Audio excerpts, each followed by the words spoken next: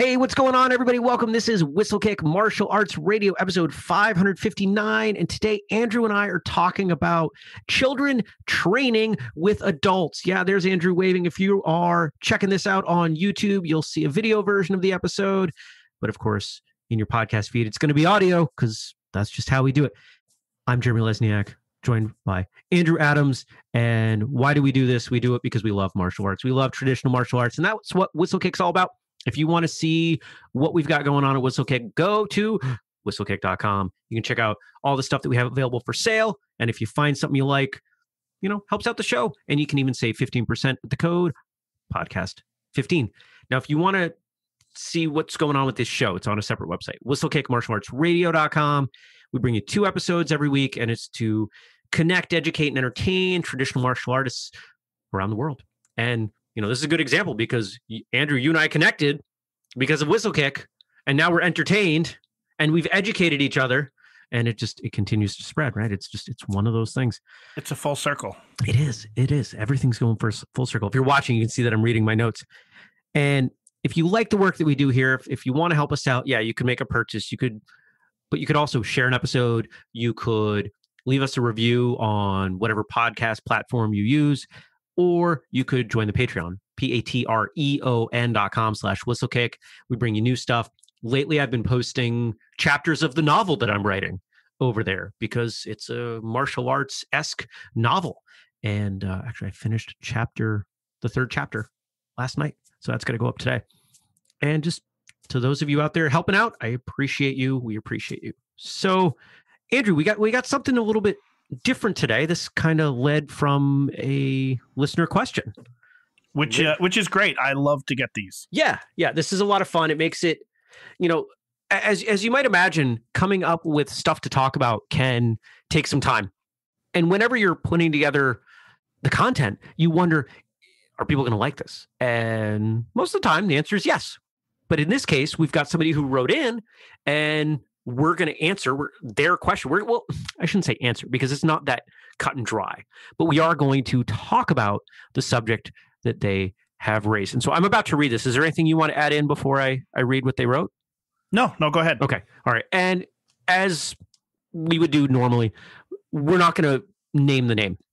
And there's nothing personally identifying in this, but if we if we had something like that, we would edit it a little bit, unless the person explicitly says, "Go ahead, read my name."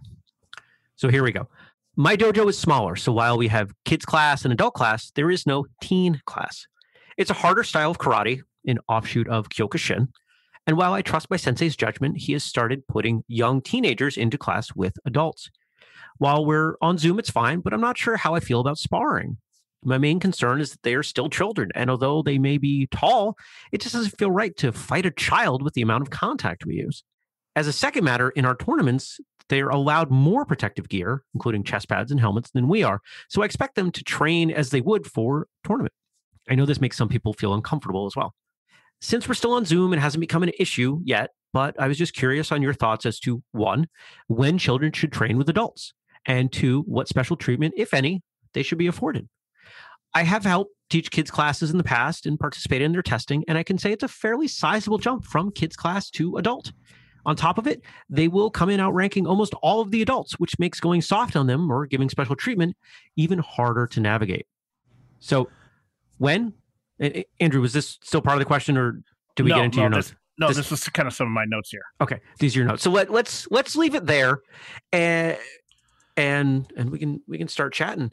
Um, it's an important question, and it's a question that occurs in probably martial arts classes just about everywhere and not just martial arts but pretty much anything because the transition from kid to adult is is gray right? You can point at uh you know we're someone our age and say that these are clearly adults. You could point at a 6 year old and say that is clearly a child. But there there comes a time whether it's adolescence or teen years or depending on the subject matter even 20s i mean the way a, a kid in college learns right? I just said a kid in college, not an adult at college, a young yep, adult in yep. college, right? Depending on the context, that age can shift. I, I even I have friends who've said, you know, basically anybody under 40 is a kid. and may, maybe not as relevant to what we're talking about today, but I I think you could still make a point for that. It, it becomes very nebulous the difference between quote unquote kids and adults. Um, it, it, like you said, the subject matters, and in this case, we're talking martial arts. And even within martial arts, I think there can be made be made a case that it varies from the school depending on the kind of school. The, yeah. um, this particular person was talking about their school being an offshoot of Kyokushin. Um, for those that that are listening that might not realize, Kyokushin is known for very hard, full contact sparring. Yeah. Um, they don't do you know punches or kicks to the head. Um, that's not allowed. But you know they're going full force with. But they're li- kicking to the leg. And if oh, you've yeah. ever eaten up a, if you've ever trained with a Kyokushin fighter and they leg kick you, ooh, brutal. Absolutely. Um, and so I think that style of sparring is definitely different than other styles, um, which. I think changes where that line may be in a school. Absolutely. So I think, you know, we could probably spend an hour discussing the philosophy of different iterations, but I want to make sure that we talk about specifically what's going on in this person's school. And I think that there will be some people who can infer information for what we might say about their school. We're probably going to get some generalities thrown in here somewhere. But instead of, you know, making this a long conversation, let's try to be a little focused and and talk about what's going on for this person. So as they said, on Zoom, doesn't really matter.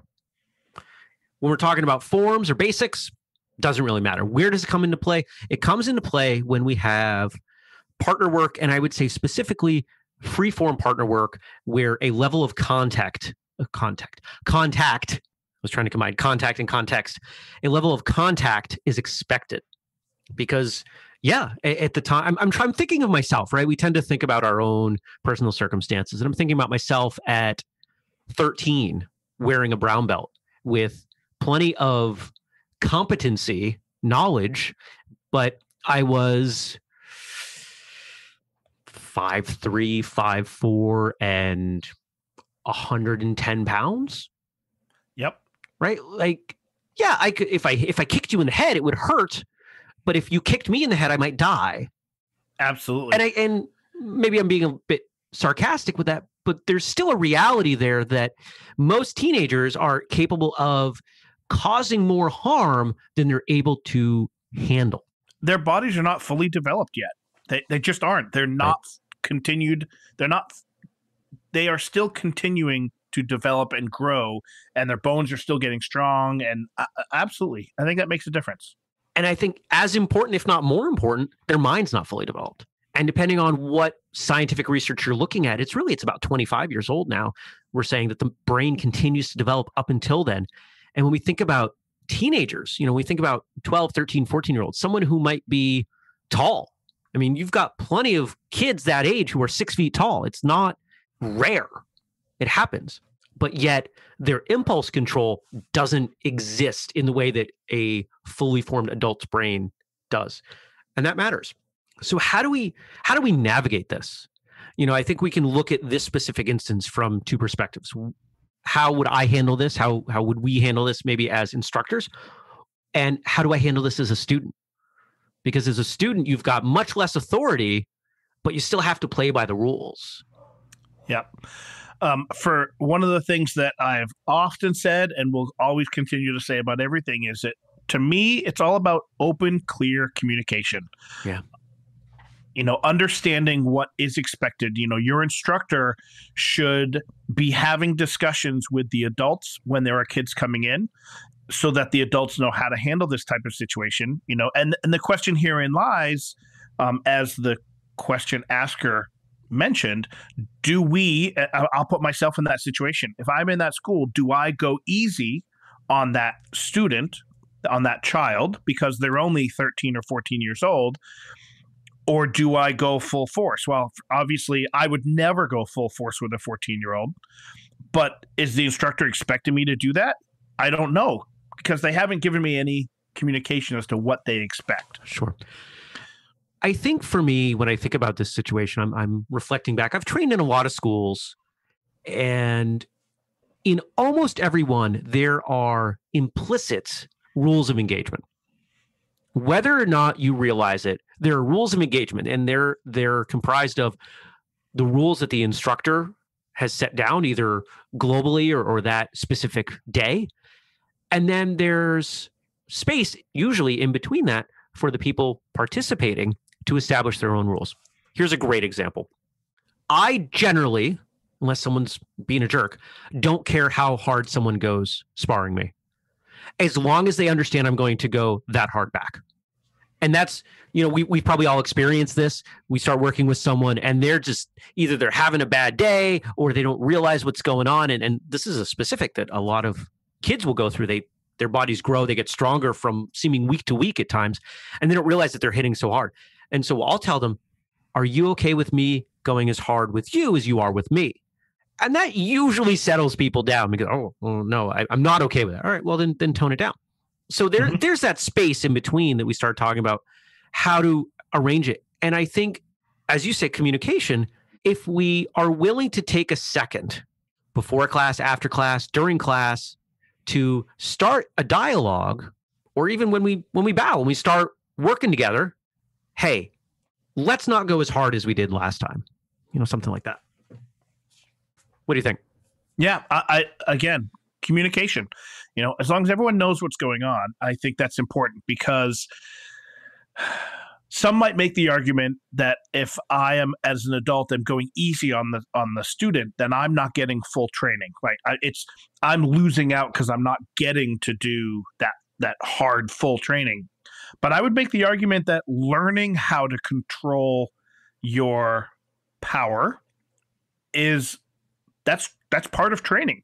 You you should learn how to control that. Um, and so I think the ability to alter your intensity level is part of training, and it should be seen that way, not seen as a oh man, I have to like I have to slow down for this for this kid I'm fighting. Yeah, it's funny you bring up power, and, and and I've heard this argument before. It doesn't come up very often, but the argument that you know I I only go full force, I only go top speed, I only make it super real, and I don't like working with younger students or lower ranked students because I don't have the opportunity to do that. Okay, if I ask you to perform, if, if, if we're doing basics, if we're doing basic techniques, and you know that we're doing ten of them, we're doing ten side kicks there's no way you're going full force on all of them. You cannot execute multiple concurrent, or multiple uh, connected techniques more than two or three that are going to be full power and equally powerful across the set of 10 you are automatically going to tone that down. So once we establish that there is a time and a place to reduce speed, to reduce power as appropriate based on the training context, we can see that there are times where it's appropriate to do so with people because of their their skill or injuries or the desired aspect we're training because sometimes we're training a specific thing even if it's contact and and free form and one of the keys with we'll say teenagers is that they might not have the life experience to know hey if i punch you in the face and you punch me back in the face, it might really hurt and I might break my nose and that may be bad because they're 13. Yep. Go ahead. Yeah. So I. it's a good thing we have this in video for, yeah, for those of you who are listening. It's a good thing we have this in video because I can see that Andrew's wheels are turning, my wheels are turning, and we're both trying to leave enough space for each other. But I'm sure we could both run for like 10 minutes and ramble the the other the other side of the coin though is from the child's perspective if there isn't communication about what's going on um, either the adult is going to go full force and they're going to get hurt and they're yeah. and they're going to lose all the time uh, either a lose all the time and or get hurt which means they're not going to come anymore right? They're done. You just lost a student. Right. That's one aspect. Or you are going to go easy on them and they're not going to necessarily realize that's the case because they're 13 or 14 and don't realize what's going on and they're going to get an inflated ego about oh i'm amazing because i just beat that black belt and i'm only a green belt or whatever i've heard um, it happen yep Absolutely. You've probably had it happen. Some kid scores a point on you and they think they're king of mountain. yep and eh, but what that student doesn't realize, what that child doesn't realize, is you're going easy on them and letting them so that they can progress a little bit, Right. And and get some self confidence, maybe. But you have to be careful that you don't go overboard. And so that's another side of the coin to think about. Right. Now specifically and let's let's dig in here and then let's start to pull back. We're talking about really more of a transition. I would imagine that once a teenager's been in the adult class for a period of time, 6 months, 12 months, they they've wrapped their head around what's expected of them and some some stasis has been reached, right? They they they know what's expected of them. Every whether or not everybody likes it is a different story, but there has been some kind of adjustment period. Where is it most difficult? When those kids go from being the oldest and generally highest ranking students in the kids class to the adult class. And you even alluded to it before that, or, or maybe it was in, in the question that quite often they are higher rank than a lot of the adults. And so they're assuming that they step in as peers when they really don't. And here's the best way I I think to look at this. What would you do with someone who came in from another school? You might respect their rank, you might respect their technique, but there would still be an integration period. You would still Mhm. make sure that people understood, hey, this is how we do it. No, no, not that way. This is how we do it. And again, it comes back to what you said at the beginning open, clear communication. Absolutely. Yep. Because the other thing to keep in mind, and this is for sure, this is more of an issue with smaller schools, right? If you've got a, Mm, a school with a, a, hundred students, you likely don't have this as much of an issue because you're able to have separate classes for teenagers. Um, but on that, if you don't have that luxury, uh, and and I train in a, I train in a very small dojo.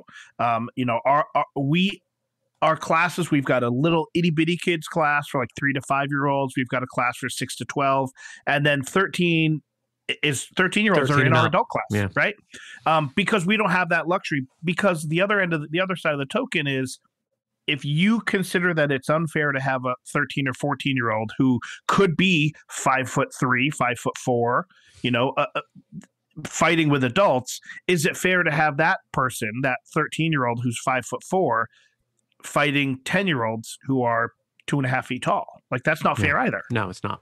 It's not. And there's no there's no perfect solution here. No Even- a- absolutely not even among schools and, and we have some that listen you know I've, I've talked to them i've taught at them even with schools that have a let's say a teen class the difference between a, a 13 year old and a 17 year old or an 18 year old is huge poten- potentially physically huge Mhm. and developmentally can be just as big Yep. so it, really what we're talking about here even though there's a specific around teens versus adults what we're really talking about is how do you play up or play down as i've heard it expressed in sports like I, i've got friends who play tennis and they talk about playing down so Mhm. that everybody can have fun and learn and i think you can do the exact same thing in martial arts again with communication Yep. In regards to the rank issue, um, if you have, uh, you're absolutely right. If someone were to come in from another school, you know, there's this transition period, but again, you're discussing with them and they're understanding what's going on. I also think you may, if you have a smaller school, you may want to consider if you have, let's say, a, a brown belt child coming into the adult class, um, especially, and I'm I'm thinking in terms of this harder style of sparring. Hmm. I would probably not advocate a brown belt child, teenager, sparring against a white or green belt adult. That if that I would only have them spar against stu- adults that are of the same r- rank for two reasons. One, they're they the adult students that are underranked f- compared to this child, and I Mhm. don't mean ability. I'm No, not no, no, talking I- I ability. Um, the, re- they're not going to have as much control typically as an adult with a higher rank. sure Uh, and so I think that it, it helps to delineate a little bit of the disparity between ranks because the child is only going to be fighting someone of the same rank or higher. Right. there is there is something to be said when you work with a lower rank whether we realize it or not there's a maturity that has to happen there if you t- no instructor is going to well i hope no instructor is going to take a first class white belt and pair them with that person in the school who's a jerk and even though they have some rank they hit a little bit too hard because we haven't gotten them to calm down yet. Yep. why don't we do that? Why don't we put those two together? Because the older higher rank so to speak student is lacking some maturity that is relevant in that context. It's quite often when i think about the schools that have problems with this it's because partners are randomly assigned.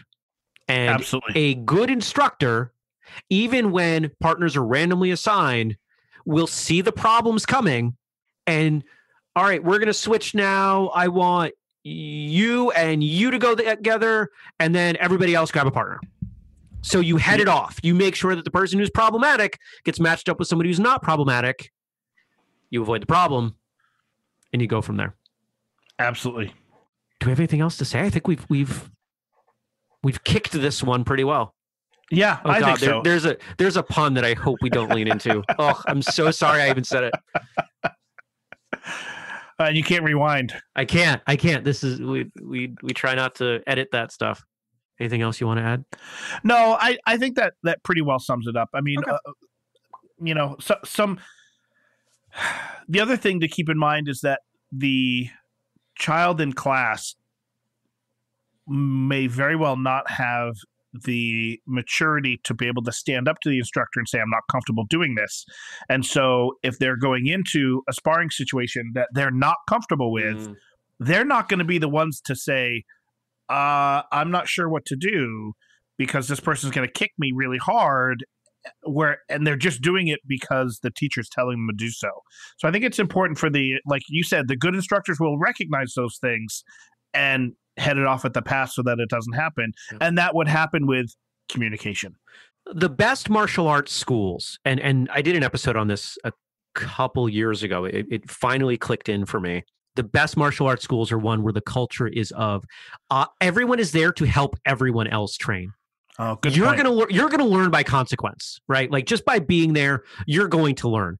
But if you show up and you train and you make it about the other people, or if you're sparring partnered work, you make it about the other person. If everybody's doing that, there are far fewer problems. And and I I can I can think about the schools specifically that I've learned the most at, the ones I've learned the least at, the ones where the most problems, the least problems, and it all falls on that division line. Where is your motivation coming from? Is it to benefit yourself, or are you here in service to others? That's a great point. I hadn't thought of, I hadn't thought of that, but that's great. Hey, that's my job here, isn't it? Right, to come up with things nobody else thinks of, make Uh, you think. Educate, Ed- educate and entertain, as I like to call it, edutain. edutainment. Yep. Yeah. All right. Well, I think I think we've got got this one wrapped up. I think I, I don't know of how how I don't know how useful our discussion was for the particular question asker, but I hope it makes them think uh, uh, uh, about it and you know come up with something that works for them. I think I would say if what we've talked about today is not helpful, I think it's because of likely of one thing, and that is there's a culture in the school where there is not communication, where people are not used to speaking up and advocating for themselves and what they need and saying, hey, this doesn't work for me. And they go home bloody and bruised and patch themselves up and maybe they even miss a class and that's just part of the culture and you know there are schools like that and i'm not going to take anything away from anybody there and if that's if that's the case i don't know how to help with this one Yeah, good point. All right. If anybody else has feedback you know we're we're down to hear it if you want to post it publicly you've got a few places. You've got the Whistlekick martial arts radio behind the scenes facebook group. You've got uh, on the general Whistlekick page when episodes come out we drop uh there's a there's an automated automated an automatic man i can't talk this morning uh facebook post that comes out. You can find it on on twitter. Uh, and of course this is episode 559 you can find it at whistlekickmartialartsradio.com we've fixed most of the problems with the website that popped up recently and we're almost done with a few more. So thank you for your patience if you're someone who has been missing the website. Uh, apparently we've grown to the size where we are a target and dealing with this constant bombardment has been a challenge. What else do i have to say? I got my notes. Here they are. All right. What did I miss? Uh, if you want to support us, you got the Patreon, you got leaving reviews, you can follow us on social media, you can do anything that might seem relevant. Share an episode. If this one, if you if you if you've heard somebody complaining about this specific problem, maybe you share this episode. Hey, those guys talked about this. Check it out. And if you make a purchase at whistlekick.com, you've got the code podcast15 to save you 15%. And if you see somebody out in the world wearing a, a Whistlekick hat or a hoodie, Andrew nor I are wearing anything with Whistlekick on. Actually, that's not true. I have a, a t-shirt, a Whistlekick t-shirt right now. I'm not going to semi-disrobe to prove it. And if you have guest suggestions, topic suggestions, questions to ask, whatever it is, email me, jeremy at whistlekick.com, and I'll share it with Andrew, just like we did on this one. So you want to send us out? I can do that. All right, take it. And as always, oh my gosh, why am Until I? Until next time, train train hard, smile, and, and have, have, a great, great day. day.